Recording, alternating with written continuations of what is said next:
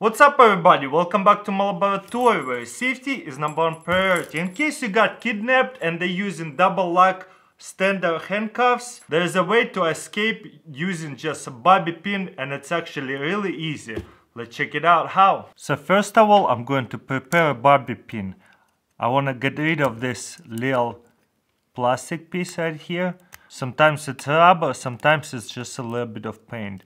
So what I'm gonna do is prepare some bobby pins and, and then I'm going to keep this bobby pin in my pocket or in my hair. I don't have any hair so I'll just put it on my belt and use it as a survival tool. So in case you got kidnapped and the kidnapper is using this double lock handcuffs, I'm going to show you how to get out of it. Or you cannot find the keys, it's really easy to actually get out of them. So I'm going to grab a bobby pin and bend it all the way like this. Boom. So first thing we're going to do is stick the bobby pin like this, but we're going to stick it halfway. All the way you'll be touching. So halfway in and then I'm just going to bend it. Boom. Something like that. Simple. Then I'm going to flip it over and stick it all the way and bend it again. Boom. And we're going to end up with something like this. Okay, let's see how the handcuffs work. You see it's locked in. And now if we're going to grab our key, we're going to push it in and turn it. You see how it lifts up and it's open. Close it again. If we're going to turn it right here, it lifts up and it's open. What's a double lock means? Right here there's a pin and you see this pin is going to push forward. Boom, do you see this whole pin have just pushed forward. So let's try to open it now.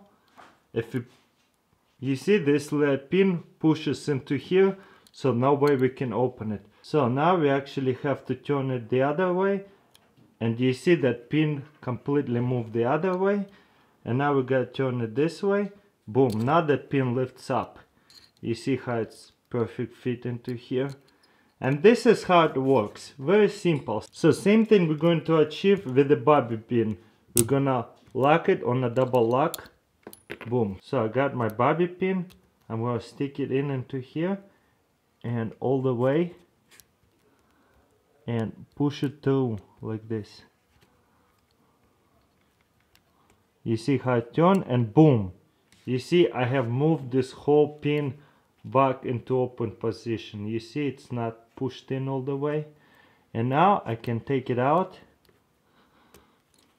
And the second part is a lot more simpler than that or as simple. Just lift it up. You see it lifts up. You see how much it lifts up?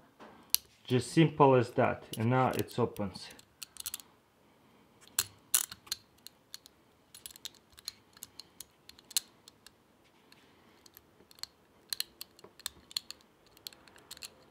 boom. And we unlocked it. Let's see if I can do it much easier than that. Boom. And it's unlocked. So one more time. As you can see it's locked. We're going to get our bobby pin push it in and you see it opens. Simple as that. You see? Lift it up. Simple. So let's see if I can do this with the, my hands put together like that. Boom. Wow this is awesome. Do you see that? So one is out and now the second one. Boom. Simple, that's awesome. So let's say your kidnapper is strapped you somewhere to the pipe and your hand is still one free. So what you wanna do is just push it in like this and you see it's double lock. And we wanna push it in and you see this pin have popped up right here. So that means we got this. So now we're gonna open it. Same thing on this side. Push it in and boom, Easy.